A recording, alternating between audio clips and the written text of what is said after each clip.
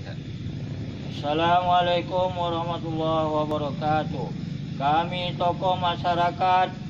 Kami tokoh masyarakat. Dan tokoh agama Simpang Kanan. Dan tokoh agama Simpang Kanan. Menolak aksi berita hoak, menolak aksi berita hoak, isu, isu, sara, sara, dan berita-berita. Dan berita-berita. Bohong, bohong, baik langsung. Baik langsung. Maupun lewat media sosial. Maupun lewat media sosial. Dan mendukung upaya. Dan mendukung upaya. Polsek Simpang Kanan. Polsek Simpang Kanan. Dalam penegakan hukum. Dalam penegakan hukum. Terhadap terhadap penyebar berita hoak penyebar berita